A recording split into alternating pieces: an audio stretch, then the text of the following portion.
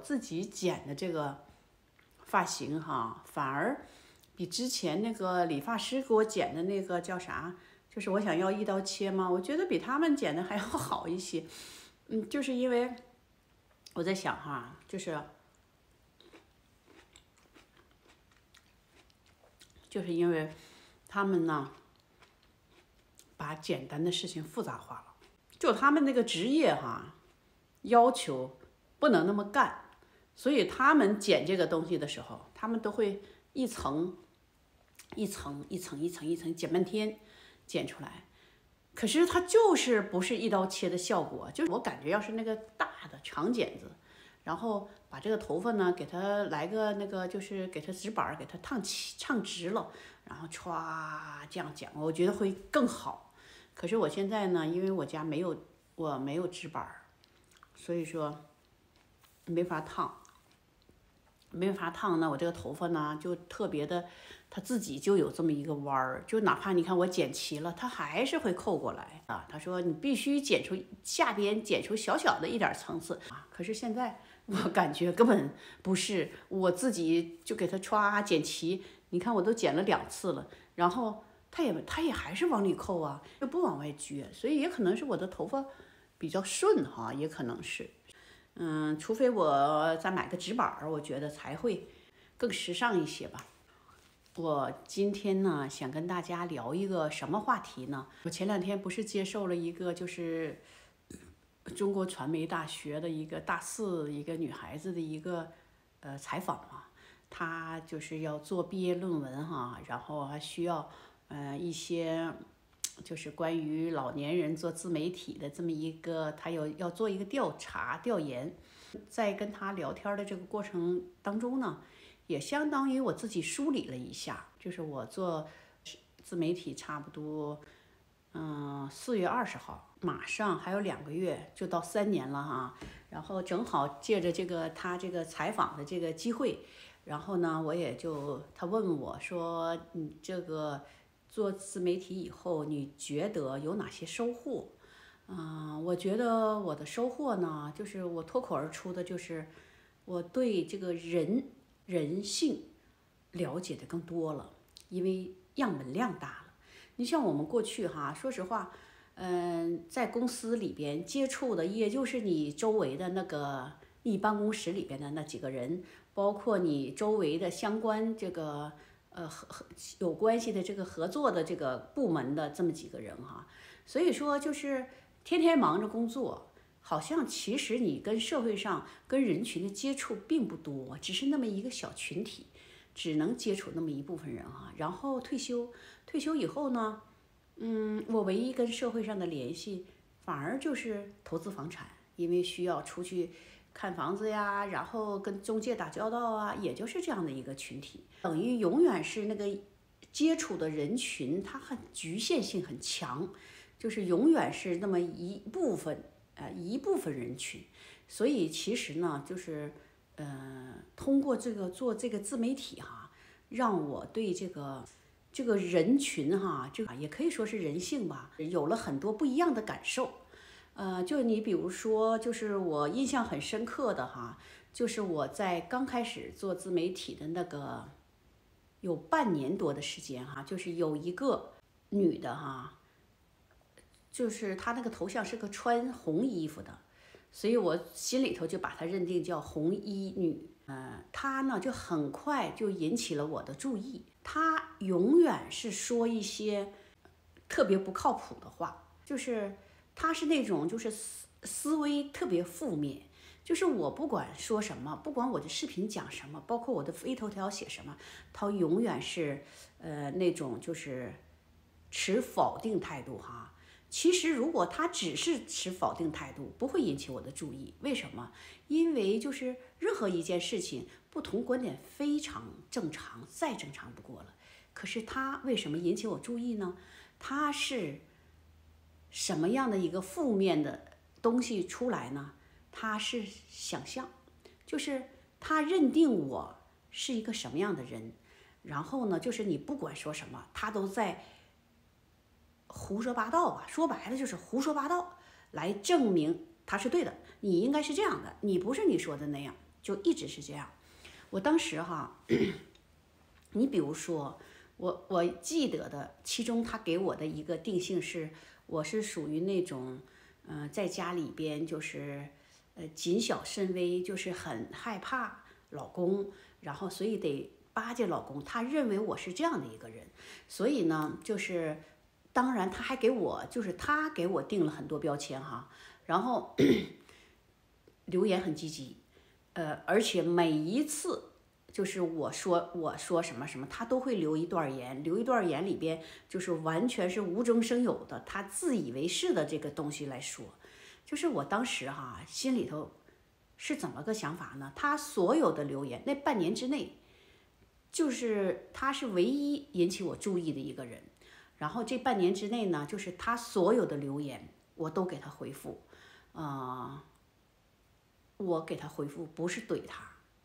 我是纠正他，就是他说的那些，就是他脑袋里有一个勾勒出来一个我是他想象的，然后他就每一次留言就是我说什么，他说说不对，你不是这样的，哎，怎么怎么怎么样，就是他都不是说。你可能会怎么样？他完全都是肯定的，他就认定我就是一个就是在家是个小媳妇儿受气的。我也不知道他咋得出来的这个呃这个结论哈。如果只是这样还好，就是他说一些很难听的话，而且无中生有的话，呃，我呢就一直给他留言纠正他这些东西哈。然后后我为什么这么做呢？其实一般来讲，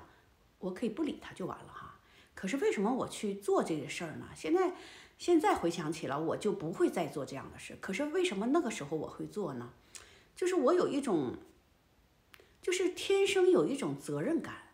就是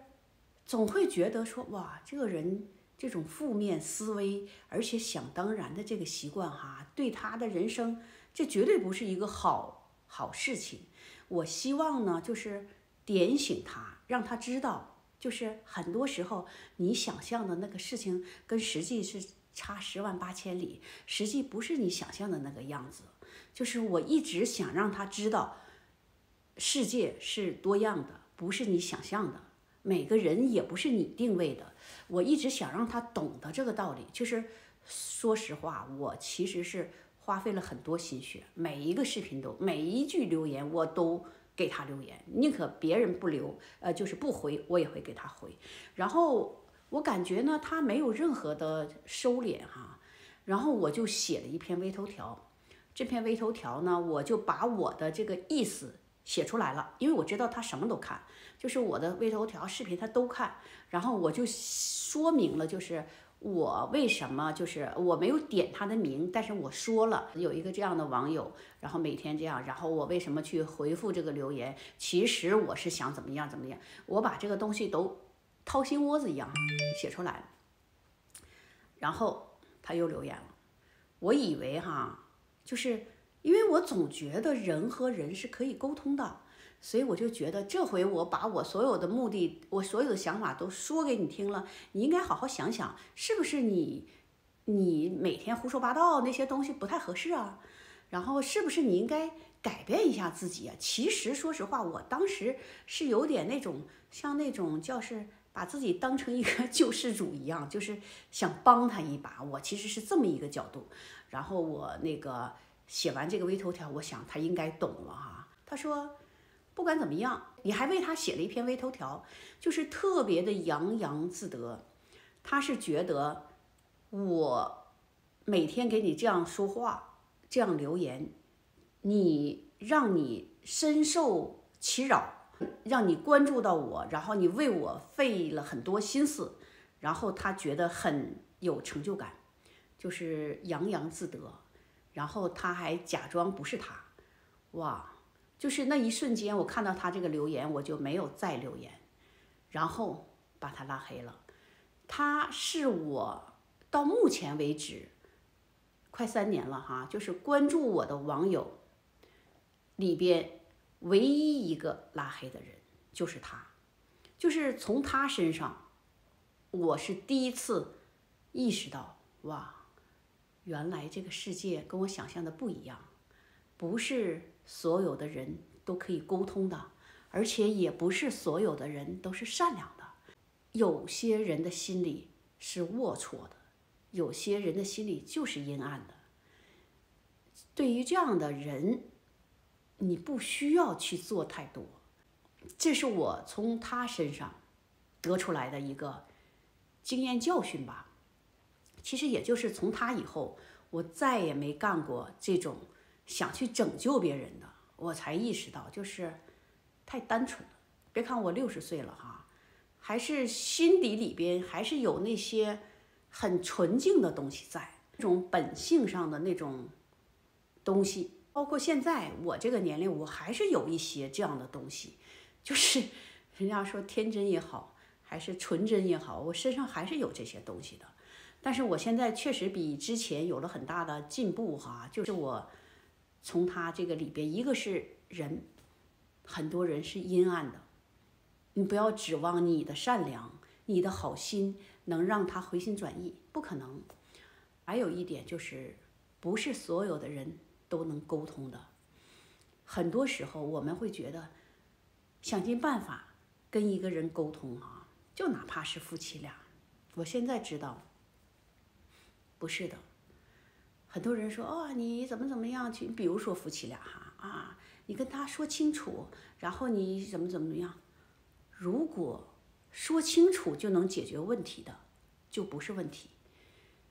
就是解决不了的问题，一定是沟通不了的。就是你苦口婆心也好，你是想方设法呃把这个事情摊开了展开，没有用。所以就是。不是所有的人都能沟通的，啊，尤其是像这种这种陌生的哈，就是你不要指望去沟通，因为这里边哈，除了就是他还有一个就是除了这什么性格呀，包括你所受的教育呀，包括你的什么什么眼界呀，就是方方面面的东西，就决定了很多的时候。没有办法沟通，它其实是在两个频道上，就是你的沟通完全不在一个频道上，一点意义都没有。这是我总结的第二点哈。还有一点就是，呃，有的时候我们会认为，就是我跟你素不相识，嗯，就是为什么你会那么恶毒哈？其实素不相识也一样会有人恶毒，本性吧，应该是本性。他从这里边会可以找到快乐的。嗯，我记得就是在那个红衣女，我被拉黑，我把她拉黑以后不久哈，就又有一个人，你看很多人留言哈，他有些人一下子就会跳出来引起你的注意，就是因为他不一样，不一样，你一下子就能感觉出来，就是这个人人这个心力哈是个什么样的心力，一下就能感觉出来，他的手段比较高明。她不像那个红衣女呢，她是属于那种红衣女是属于那种，呃，说白了就是明目张胆的胡说八道、瞎编乱造，她是属于这样的，所以你一看就是个，就是她让你一眼就能看出来，她是一个就是一个不靠谱的人、不着调的人哈。就是我估计别人，你要是说看我视频时间长，你也能看出来他是个不着调的人，可是有的人不是。有的人是什么呢？表扬你，先表扬你，给你戴一个高帽子，然后下边来恶心你。他恶心的你呢，还是那种表扬的口气恶心你，啊，然后让你呢就像吃个苍蝇一样。你你又不能说什么，你说什么就会觉得，哎，你这个人怎么就是怎么那个就是不知好歹啊？人家都在表扬你，其实他那个表扬里夹杂着一些就是。恶心你的话，然后你想想，就是我其实是很敏感的，在人群当中，我基本上接触一个人，我很快就能，我很快就能看透这个人是个大概是个什么样子的人，嗯，就包括语言，就是我我我会有画面感，就是我看到你的语言，我会有画面感，就是属于比较第六感比较敏感的人，我应该是属于这样的人。所以就是你这个人是是善良的还是不善良的，是滑头的还是实在的？就是我我基本上不用啊 跟你共多少事不用，我基本上能判断出来，八九不离十。所以呢，就是他这个人，我一下子就引起了我的注意哈，然后我心里头就会觉得这不是我个人多心哈敏感，不是，为什么呢？后来我发现有一个网友看不下去了，这个网友给他留了一个言哈，这个网友留言是这么说的，原话记不住，但有一句话我印象很深刻，他说：“你就像那个美丽蛋糕上的一颗老鼠屎。”然后下边怎么说记不住了，反正就是特别形象，就是那种诶看着很美丽，但是那块就有一个老鼠屎，它就是恶心你的，就是他的那种就看似很很高明的那种小花招哈，然后恶心你的那个小花招，就是有人看出来了，因为因为网友当中，说实话，我感觉关注我的网友聪明人不少，水平高的人也很多，所以呢，有人看不下去了。然后 说了这么一句话，他我基本上很少回复，因为那个时候我已经接受教训了，我已经不再像红衣女那样还去想去拯救人家，就是我已经知道了这是不是一个善良之辈，就是我就看着他表演哈，有人看不下去，那我心里还挺欣慰的，我是想哦，原来有明白人，这就好办，就怕你周围的人都是糊涂蛋，都被他去去去。带带那叫啥？带节奏哈啊！然后我想哦还好，然后呢他没有收敛，然后又有一次又说，这个时候我就跟他说话了，我说我希望你能明白，你还能在这儿说东说西，这个大前提是我允许你在这儿说，我希望你能明白这一点。然后从那以后再也不来，再也不说了，也不来了。